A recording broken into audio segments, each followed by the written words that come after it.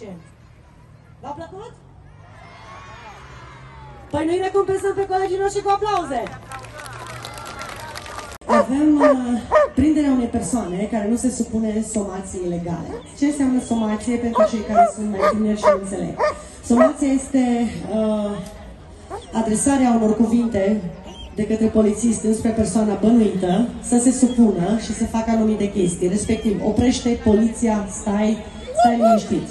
Kun je nou verder? Dus op Alex, heb je dat allemaal zo best agitat?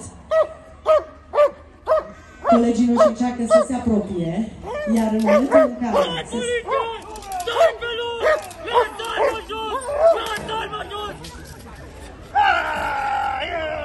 Ok, a fost un moment rău și continuăm. Încă nu aplaudăm, încă nu aplaudăm.